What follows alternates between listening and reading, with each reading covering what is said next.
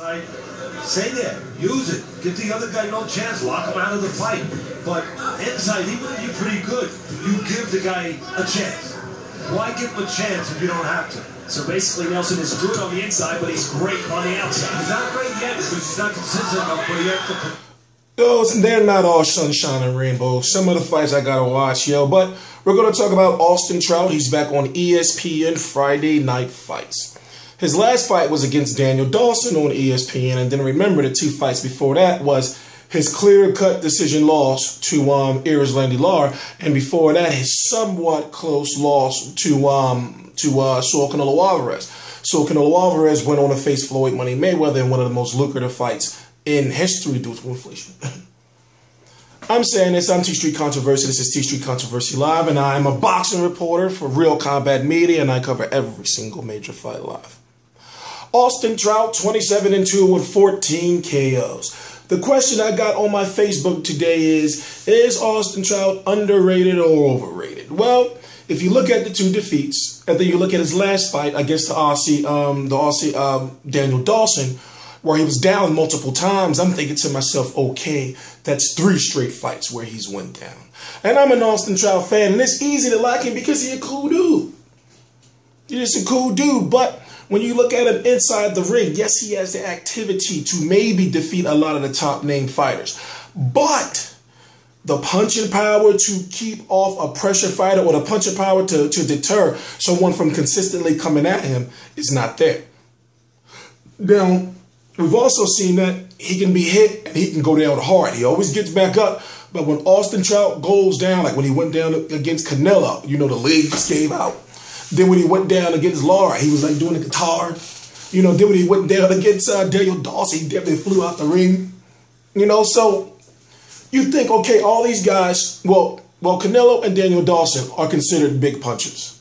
To whereas in Lara, if he hits you clean, you're going down. So you have to think, okay, well, the defense of Austin Trout. And that's once again why you have to say, okay, maybe that's why he's back on ESPN.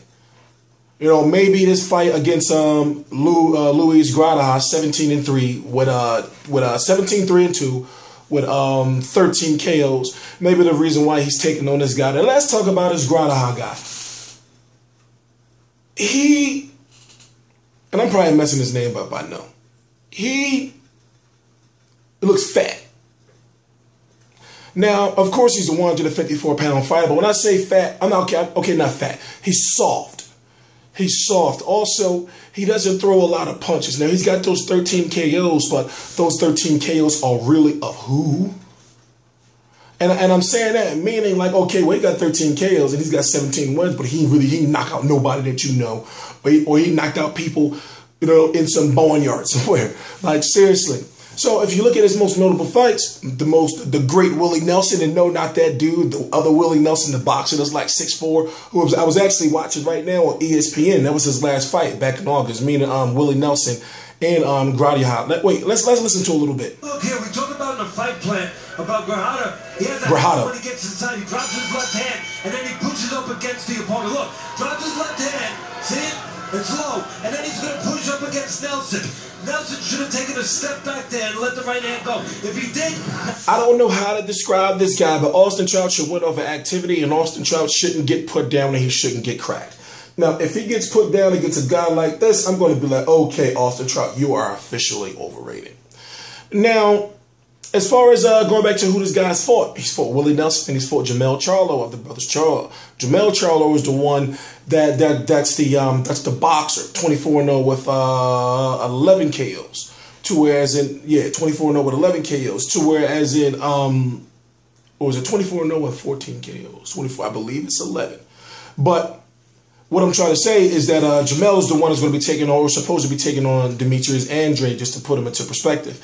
So what could be next for Austin Trout? I guess right now he's trying to get back on the networks or, or he is an Al Haymon fighter. So maybe he's going to, um, how can I put it? Um, maybe move over to, to, to NBC or whatever, how they're going to do that. Now, Austin Trout is an exciting fighter. Don't get it twisted, but I'm trying to figure out when it comes to a championship, who can he beat? Now, maybe a canine maybe a K9 Cornelius Bundrage.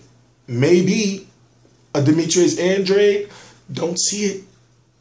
Um, a Carlos Molina, he could probably beat Carlos Molina, even though Carlos Molina is not a champion anymore. I'm trying to match him up in good fights because depending on how he looks against in this fight, he's going to take a step back up now because they don't want to keep him on ESPN or on that level too long. You know, you want to start mixing him up. But like I said, he's got a lot of work to do. Um, I'm T Street Controversies. It's T Street Controversy Live. The fight's going to be happening on ESPN Friday Night Fights. Uh, November is November 11th or November? Yeah, November 11th, 2014, and I'm going to be covering that fight live. T Street Controversy, T Street Controversy Live.